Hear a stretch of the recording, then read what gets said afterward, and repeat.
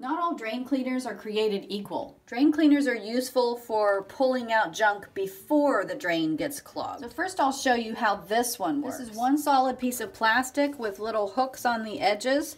So you simply insert it down in and pull up.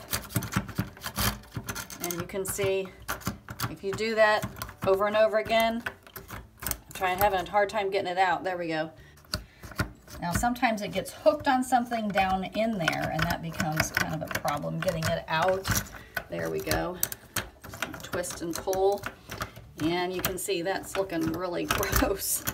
really gross and it doesn't come out very easily, but it does do the job. You can see there is all kind of junk that's down in there. We started to get it out with this one and now I'll show you the other tool.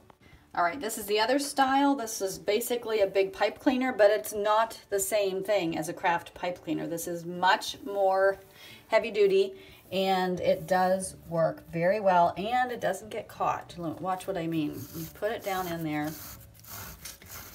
and it just slides right back up and we could rinse it off, but I just want to show you again how there's none of that catching like the hooks. This is so much easier, so much more effective, and it was actually a dollar cheaper. Now that we've got it all knocked loose from the inside of the pipe, we can just rinse it down. It'll go right down. We've cleaned the inside of the pipe, and then we can reuse it next time. It cleans up so easily. Look at that. So there it is. It's all cleaned up. It almost looks brand new, but we're going to keep using this over and over again. This is handy, and it actually works. This one cleans up easily too. It just is too hard to get in and out of some drains.